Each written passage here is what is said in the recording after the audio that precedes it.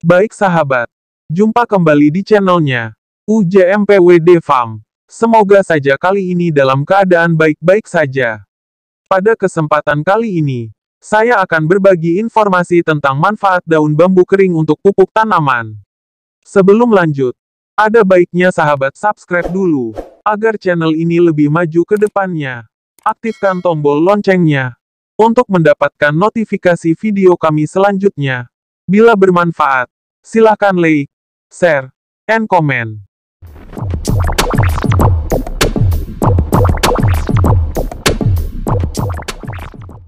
Kompos daun bambu. Kandungan unsur hara dan segudang manfaat. Manfaat kompos daun bambu. Kompos daun bambu adalah daun bambu kering yang sudah mengalami pelapukan. Bisa didapatkan melimpah di sekitar area rumpun bambu. Unsur hara yang banyak dikandung oleh daun Bambu adalah fosfor P, dan kalium K, unsur hara makroprimer yang yang dibutuhkan oleh tumbuhan dalam jumlah yang banyak.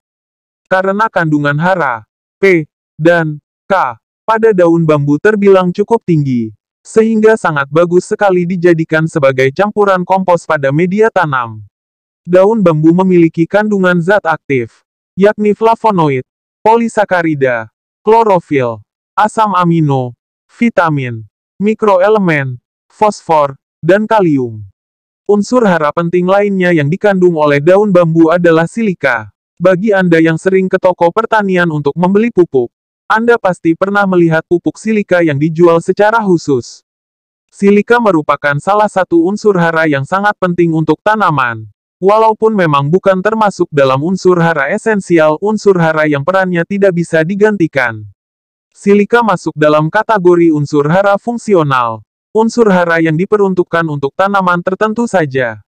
Beberapa manfaat penting dari unsur hara ini adalah dapat meningkatkan ketahanan tanaman dalam melawan serangan hama penyakit, bisa memperkokoh batang tanaman, dan memperpanjang masa simpan buah tanaman agar tidak mudah busuk. Manfaat lain dari kompos daun bambu.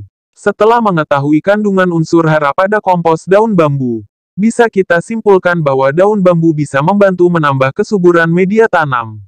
Selain untuk kesuburan media tanam, ternyata pada kompos daun bambu terdapat biang jamur seperti trichoderma, jamur antagonis yang bisa membantu melawan berbagai jenis jamur patogen pada media tanam.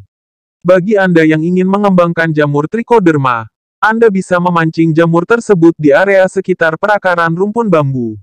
Akar daun bambu juga merupakan media yang sangat efektif untuk membiakkan rizobacteri, salah satu bakteri sahabat petani. Terdapat juga berbagai jenis mikroba baik lainnya yang bisa membantu mempercepat proses penguraian bahan-bahan organik. Daun bambu juga baik digunakan sebagai alternatif pengganti plastik mulsa. Dibandingkan dengan menggunakan serbuk kayu sebagai pengganti mulsa, Daun bambu memiliki kelebihan lain yakni tidak membawa jamur patogen yang bisa membahayakan kesehatan tanaman. Sekian informasi tentang daun bambu kering, yang banyak sekali manfaatnya untuk menyuburkan tanaman. Terima kasih sudah menonton video ini semoga bermanfaat.